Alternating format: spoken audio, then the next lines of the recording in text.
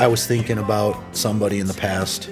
The relationship really never went where it was supposed to go, and two people drifted apart. Where We Are was actually uh, brought to me just on his guitar. He's like, hey, check out the song.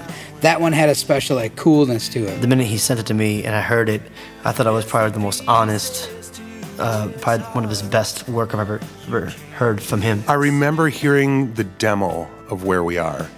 The strange thing is, I, I had a vision of what the completed song should be. It turned out pretty close to what was in my head. When I met Jon, Jon was really excited about it. And it was the first time I really wasn't controlling what anybody was doing. I usually had all that stuff in my head. And this time I was just like, you know what? I, I don't care. Whatever you, if it's cool, it's cool. Let's do it. That one had a special like coolness to it. Like, I'm like, cool, I like this one. Let's start on this song immediately. The recording process was just as important and represented the writing process. In this case, meaning, you know, Rob sits down and has a complete thought and he writes it. And I think uh, Goldie, um, Jon, and I wanted to also do that as we recorded it in the studio and track it all together in the same room, feeling our way through it. It was only, it, it, it's what the piece deserved.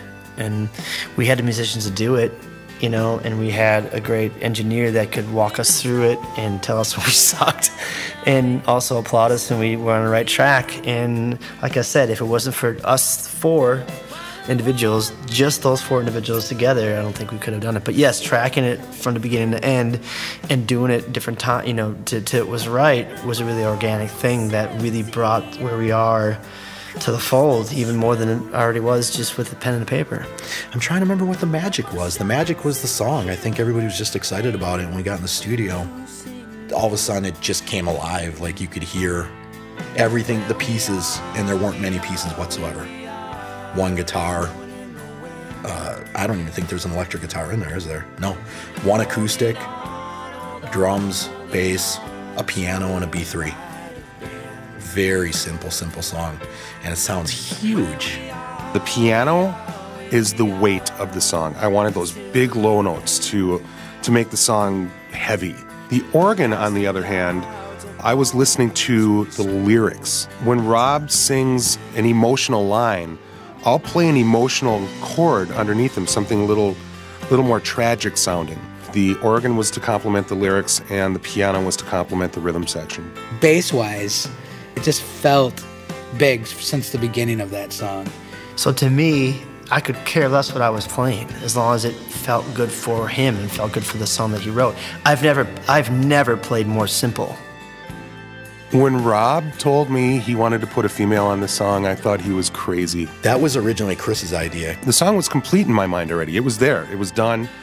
And um, I, I, really didn't understand it, and I think I fought it a little bit. And he's like, he goes, it'd be a really cool idea. He goes, not that it sounds bad with you singing the whole thing, but he goes, the lyrics are so deep and so meaningful that you almost want to hear the other person. But the Nick's performance was so good that now I can't imagine it any other way. In fact, I listened to a, an early rough mix of it that had just Rob's voice, and it sounds like half the song has been gutted out. But wow, just talk about stepping up to the plate.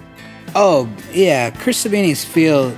It's what he's got is just got that. Uh, everything's got that that the, the shuffle. Even if it's not a shuffle, it's da da da da da da da da da da. You know that becomes because he's got a jazz background. With my feeling and his feeling together, along with Rob's songs, which are very emotional and deep in feeling, I knew we were gonna communicate his words really, really well. But the cool thing was with the guys that I was working with were the biggest cheerleaders and screw that. Just do it. You know, you, you're trying to be something that you're not. Well, you really are, but it's not turning out that way. And I think that's where I started believing in myself again, going, well, you know what? I'm just going to be the guy that I always was and just be honest about the recordings and just do it and trust the guys that I was working with.